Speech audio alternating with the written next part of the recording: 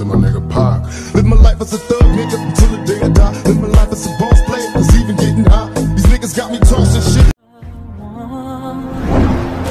is to be with. I'm a true champion.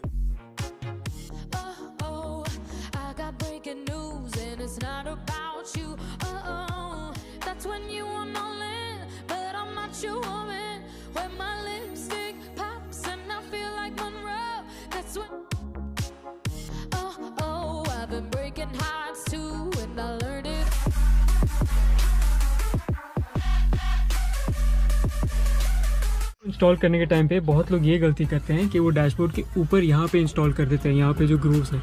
And वो बिल्कुल नहीं करना चाहिए, क्योंकि रात को जब बाहर अंधेरा होता है तो ये लाइट सारी यहाँ विंडशील्ड के ऊपर रिफ्लेक्ट करती है एंड फिर रोड क्लियरली दिखाई नहीं देता। सो गाइज़ प्लीज़ आप ये गलती मत करना। ये जो लाइट है, सिर्फ़ डैशबोर्ड के आगे वाले साइड पे इंस्टॉल करने के लिए, ऊपर बिल्कुल भी नहीं। आज आप लोगों को पता चल जाएगा हम अपनी गाड़ी के अंदर बेलेनो के अंदर इसको किस तरीके से लगाएँ। तो जैसे कि देख पा रहे हो गाइस ये इसके अंदर फंस जाती है और आपके डैशबोर्ड में किसी भी तरीके का गाइस कोई निशान नहीं आता क्योंकि हर किसी को भाई अपनी चीज़ें बहुत ज़्यादा प्यारी होती हैं और खासकर तो अपनी कार। तो भाई जैसे कि आप देख पा रहे हो तो इसको अगर आपको निकालना हो इन फीचर तो आप इसको खींच के इस तरीके से निकाल सकते हो। और गाइस जैसे कि आप देख पा रहे हो, इसको मैंने आगे से काट दिया था ताकि जो एक्स्ट्रा थी वो आगे की तरफ़ लटके नहीं और इसी के साथ में गाइस जैसे कि आप अपनी गाड़ी का डोर ओपन करते हो तो इसके अंदर लाइट है, वो ऑन हो जाती है। और इसी के साथ में अगर आपने पार्किंग से कनेक्शन करना है तो गाइस इसके अंदर कुछ फ़ंक्शन होते हैं, आप उससे भी आप इसको कनेक्ट करके कर सकते हो। तो जैसे कि देख पा रहे हो, ये जो कनेक्शन होते हैं गाइस इस कनेक्शन होते हैं इसके नीचे तो ये लाइट होती है यहाँ पर।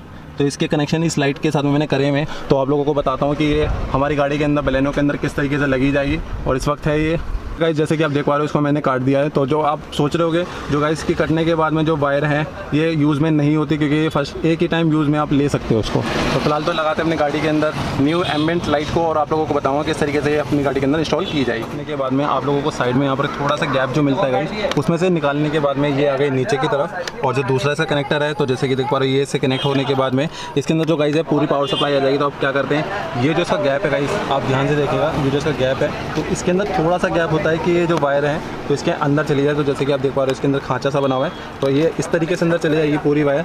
तो आप लोग देख रहे हो कितने गाइस आप इसको अपने पास में आराम से कर सकते हो तो आपका टेक्नोल है तो आप लोगों को सब चीज़ सिखाई देता है। तो जैसे कि देख पा रहे हो, ये इसके अंदर चलती है, रहेगी। और जिस तरीके से गाइज़ ये लगा रहा हूँ मैं पूरा इसके पीछे से होते हुए, इसके नीचे से आप देख पा रहे हो, पूरा गाइज़ के अंदर एक नाखून के बराबर गैप है। तो पूरी इसके अंदर ये लाइट है, वो ईजिली तरीके से इंस्टॉल हो जाएगी। आप देख सकते हो, रात में ये लाइट है, ये लाइट का इंटरफेस किस तरीके से नज़र आएगा तो जैसे कि आप देख रहे हो, शीशा खोला तो शीशे को खोलने के बाद ही ये लाइट की विजिबिलिटी कुछ इस तरीके से, और देखने में भाई लोग आप कमेंट करके बताइए, आप लोगों को ये लाइट है किस तरीके अगर आपको प्रोडक्ट पसंद आई है तो वेरिएशन सेलेक्ट करके अभी ऑर्डर प्लेस कीजिए।